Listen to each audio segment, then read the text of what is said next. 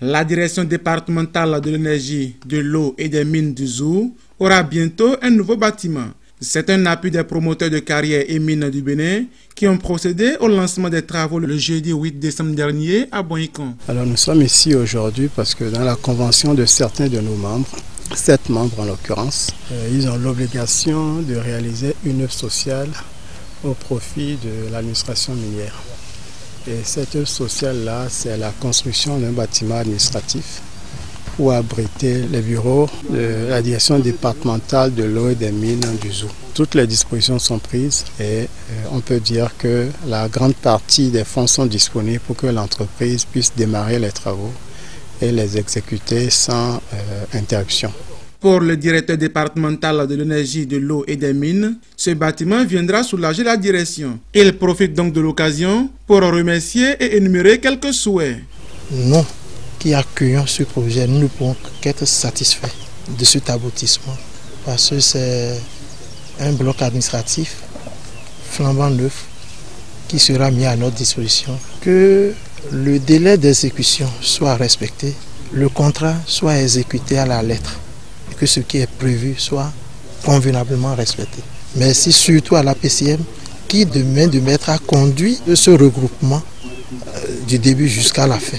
Au total, une bagatelle d'environ 15 millions de francs CFA venant des entreprises Benis, Offmas, Sokemi, Colas, Mines, Jessie et Soja Satom, toutes membres de la PCM Bénin, est mobilisé pour le projet.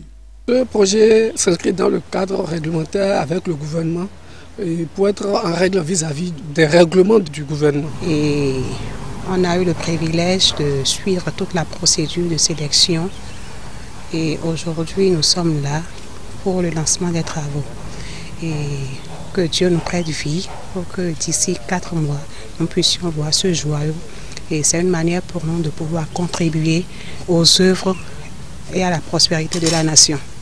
Et je profite pour remercier la PCM Bénin qui a pu réunir les promoteurs de la carrière pour une bonne collaboration et un bon suivi du travail. Je recommande à l'entreprise exécutante de respecter le délai et de suivre les, consignes de la mission de contrôle et faire un bon boulot.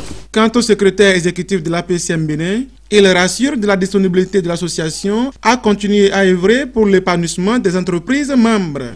Déjà, c'est de remercier ces sociétés euh, parce que ce n'est pas facile pour les, sociétés de se regrouper. Hein. c'est des sociétés qui sont dans leurs activités, mais elles ont accepté de se mettre ensemble. Elles nous ont facilité la tâche puisque tout au long du processus, elles ont été là pour collaborer dans la mise en place, notamment la signature du cadre de collaboration, euh, la convention de cofinancement et tout.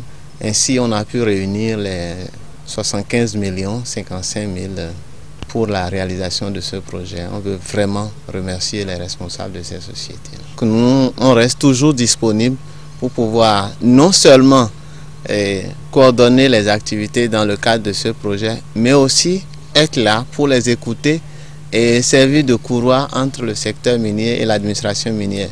D'ailleurs, notre devise, c'est le développement de l'industrie minière. Donc, nous les rassurons de la disponibilité totale de l'APCM à les accompagner dans leurs activités. Faut-il le rappeler Les travaux de construction dureront quatre mois. Mais je pense qu'avec les dispositions qui sont en train d'être prises de, part et d'autre, c'est-à-dire euh, au niveau de la direction départementale pour faciliter les travaux sur place, au niveau de l'entreprise pour euh, aller vite dans les travaux, et la saison sèche nous aidant aussi.